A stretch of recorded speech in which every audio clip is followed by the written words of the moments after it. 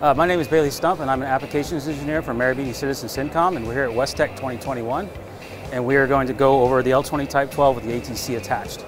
So the ATC stands for Automatic Tool Changer. And just to give you a little bit of background, several years ago, Citizen Cincom released an L20 Type 12 with a programmable B-axis. That really brought a lot of capability as far as doing off-axis work, especially for medical dental uh, type components. Now with the ATC, it's just the next step in, in that capability. The ATC can hold up to uh, 12 tools. So we have a fully programmable B-axis, so 12 plus one tools, so 12 tools that can be assigned to the tool 12 position, and one tool assigned to the T11 position, giving you a, a 13 tool capacity. Uh, with a 12,000 max RPM, and the tool holders themselves fall under the JBS 15T standard.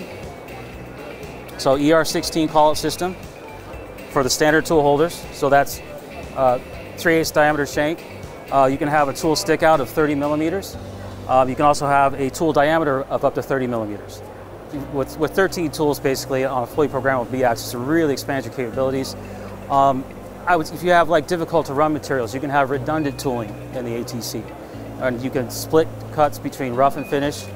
Um, and also because of the fully programmable B-axis, you can run some very uh, eccentric and uh, advanced parts. So as far as options for the ATC, uh, right now we actually have a tool probe available uh, that allows for real-time checking of components as you're manufacturing. Um, it has an accuracy of checking up to 1.5 micron or 60 millionths. Uh, this is something that you could set up to run production as far as you can have it, you can, whatever your part AQL is, as far as how many parts to run before you actually have to check one to verify. You can send the probe in, verify the dimensions, um, you can get real creative with the programming on it. You can even get it to set to actually make adjustments on the part as you're running.